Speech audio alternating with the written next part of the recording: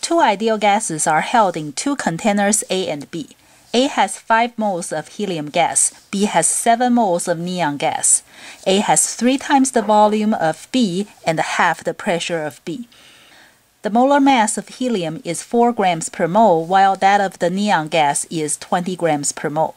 Find the ratio of the temperature Ta over Tb.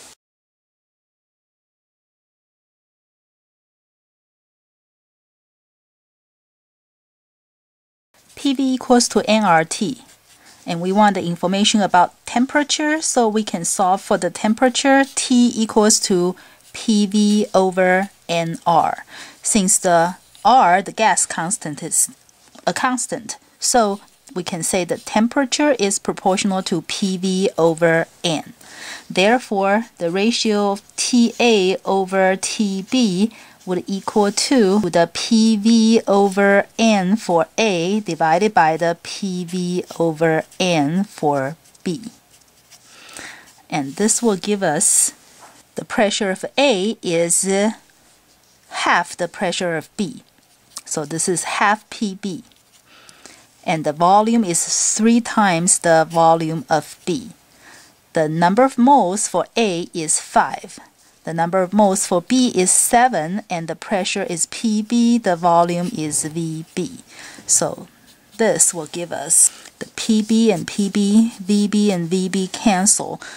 In the numerator we have 3 tenths. In the denominator we have 1 seventh. So this will give us 21 divided by 10 and that's the answer. To solve this problem, we did not have to use the molar mass at all. Now let's try another problem. Two ideal gases of the same temperature are held in two containers C and D. C holds hydrogen gas and D holds nitrogen gas. C has twice the number of moles of D and five times the pressure of D.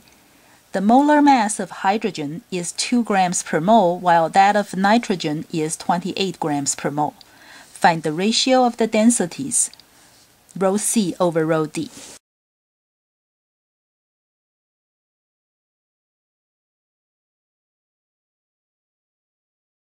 Density is mass divided by volume. So we need the information about the volume and we can use PV equals to nRT. Since we need information about volume, we can solve for the volume which is nRT divided by the pressure.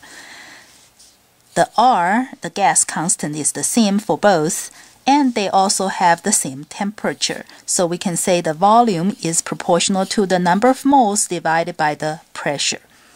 And we know that the mass is the number of moles times the molar mass. So the mass here is the number of moles times the molar mass, which is 2 grams for C. And the, this is the number of moles times the molar mass, that will be 28.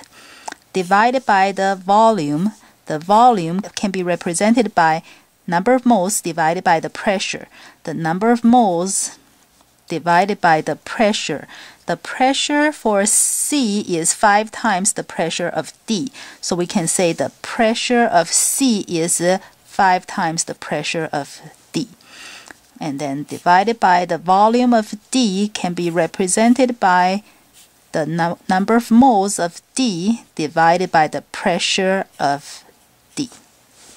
I can certainly plug in number of moles for C as twice the number of moles of D, but I don't have to because uh, I have number of moles over here, they cancel. So I don't need to plug in the number of moles over there. So the PD of course cancels. We just have to simplify this thing right now. That's uh, 2 divided by 1 fifth. And this is uh, 28 divided by 1. So this will give us uh, 2 times 5 divided by 28, which is uh, 5 divided by 14. So this is the ratio of the densities.